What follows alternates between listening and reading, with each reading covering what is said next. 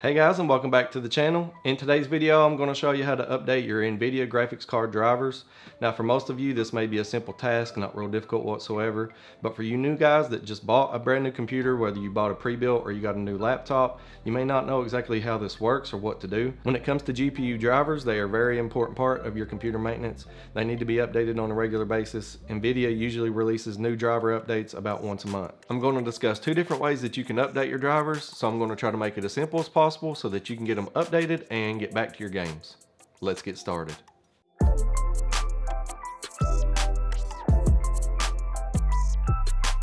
Okay guys, so what I'm going to do now is quickly go over both ways that I update my drivers or the ways I've used in the past. Mostly now I use GeForce Experience, so I'm gonna show you that. And if you don't wanna install the additional software on your computer, then I'll just show you how to straight download the drivers and go from there.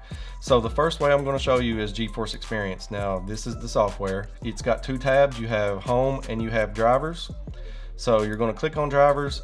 Now, right here at the very top, it will tell you if you have an update available. So if you don't have an update, it's gonna say you have the latest one and then you're good to go. But if you need to update, it will actually show you here that you need to download this update. This is the way I suggest doing it, especially if you're new. You don't have to go and find the right driver. It automatically detects your hardware, downloads the correct driver for you, and then installs it. So before we get started with downloading the latest driver, I'm just gonna go through and show you two different ways that you can find what driver you currently have. So the first way will be um, even if you do not have GeForce experience, I'll kind of minimize that and get it out of the way so that you can see. But if you right click and you go down to the NVIDIA control panel, so the first thing that I'm going to do is go up to help. And then from there you go down to system information. So right there it shows you your driver version 445.87. Okay, so that is the current driver I have on my computer. Now if you don't want to use that, let's say you download GeForce Experience now, you bring it up, you can go to settings and then from there, it also shows you what video card you have and then the driver version. So again, 445.87. Now, obviously in order to use GeForce Experience, you're gonna have to go and download it. It is not installed when Windows installs its default drivers for your graphics card. So all you have to do is do a Google search of GeForce Now Experience and you're brought to this page and here you can download it. So from here, I'm going to actually update my driver and I'm going to show you how the process works so that you don't have to be afraid or nervous about anything like that. But as you can see, it does say that I do have a driver that is available, that is ready to download. It says the release date was uh, May 27th. So I've purposely held off updating just so I could show you all exactly how to do this.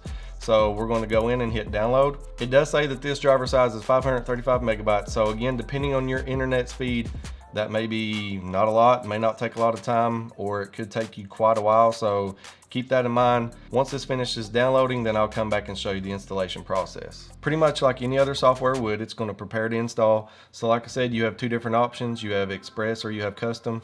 Now I always do Express just to make it simple, but if you would like to install the driver on a different drive, you can do that by clicking Custom and then pick the destination of where the driver is installed. But I'm gonna click Express. As you can see, it will give you the UAC option here, so you'll have to click yes, more than likely, unless you've changed those settings in Windows. It's going to go through the process here of installing the driver. Now this again will take a few minutes depending on your computer. It could be very, very fast. It may take a little bit. Now keep in mind during the installation process, your screen is going to go black. It's going to, you know, on and off a couple times. Don't panic. Don't freak out. That's completely normal. I may sit here for a second just so I can see if I can get, there it is. There's your process right there. So it's going to kick off. You'll hear the Windows little bell or whatever. But as you can see, it kicked off, it kicked back on, and everything is successful. Now, if you're not wanting to install any additional software on your computer like GeForce Now, I'll show you how to go and download the driver from the web. But the first thing you have to do, again, if like say you bought a pre-built or you bought a laptop and you're not really sure what the graphics card is, you definitely want to identify what graphics card you have before you go download the driver. That's very important. So I'm going to show you all three ways here. Now I'm going to show you the GeForce Experience way just just for the heck of it. But as you can see, it shows you your components here. So I've got a GeForce RTX 2080 Super. Now again, if you're not wanting to install that software and, and use that to identify your components, you have two other options built into Windows, especially when you install your video card. So you have Device Manager, so under display adapters, it will show you what graphics card you're using. Again, I'm using the 2080 Super. And then if you do not want to use that, all you have to do again is right click, go to the NVIDIA control panel, click on help and then go to the system information tab and it will show you that your graphics card is right here. So those are the three different ways that you can identify your graphics card so that you know which driver you need to go and download. So if you are anti-software, anti-adding too much software to your computer, or if you just do not like GeForce Experience, I'm gonna show you how to do it manually over the web. So you're gonna do a Google search for GeForce drivers, uh, real simple. I'll go back and show you that real quick here. So all I did was do a Google search for NVIDIA GeForce drivers. It's gonna be the very first link. You're gonna be brought to this page which shows you you've got two different options. You can do a manual search or you can do an automatic driver update. So like we just covered, you will have identified your graphics card. You will come here and pretty much find your graphics card driver from the drop down boxes. So now mine is GeForce, you have Titan, Legacy, 3D Vision and all of that. So you would pick yours. Um, I do have a 20 series. Now mine's not notebook, mine is just 20 series. You have to be real specific with the driver settings. So always check these drop down boxes here because the first one did say 20 series, but it had notebooks out from it. So I want to pick the one that is for the desktop. Now it auto selected 2080 Ti, mine's not a 2080 Ti, mine's the Super, so I'm gonna go there. You have to know your operating system. By now, hopefully you're running Windows 10 64-bit, but if you still love Windows 7 or Windows 8 and you're still using that, then obviously you would wanna choose the correct software for that. Um, in this case, the only one that is supported is going to be Windows 10 and Windows 7. They do not have a Windows 8 support. They do have Linux support and all of that, but I'm going to go ahead and select the Windows 10 64-bit English, and then from here we have the recommended certified beta studio, all of that. I'm just going to say all. Now you're going to start your search. You'll click to start the search. Now what this is going to do is it's going to find your driver for your graphics card. So here you can see there's several different options. The one I do have we've already talked about is the 445.87. The latest one again that was released is May 27th 2020 and that is the 446.14. So you would click on it. It's going to bring you here. It says GeForce Game Ready Driver. You click download. Okay so once the download is complete it shows it is complete down here at the bottom. You're going to go to the folder where it is downloaded. Now I send all of my downloads to the downloads folder. Just makes it easy you may have that directed to go elsewhere. So for now, I will show you real quick. If I have that, I've got the file here. It has been downloaded. Now it's gonna be the same way that GeForce Experience did, except you're gonna have to initiate the installation. So you're just gonna double click on that.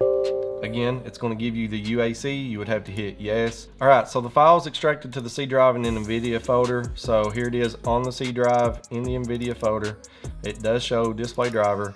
It does show the version of the driver, so that's 446.14.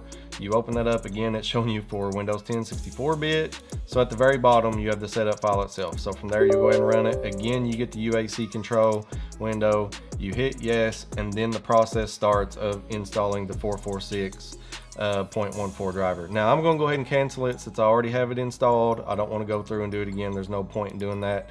So I'm going to cancel it and then I'm going to go out and show you guys that the installation did work. I'm going to show you both on the, the device manager side and the GeForce Now side.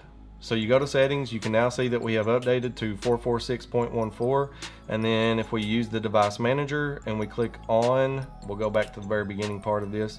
So you go to your device manager, you click down on display adapters, you right click and go to properties and then you go to driver you can see now it's a it looks a little bit different here but it does show 44614 so that shows we do have the latest driver. All right guys so you're ready to go back to gaming? Just keep in mind to check this about once per month. And if they release any type of update all you have to do is follow this process again or install the driver once you get a hang of it and you'll be good to go. Thank you all for watching the video and we'll see you all in the next one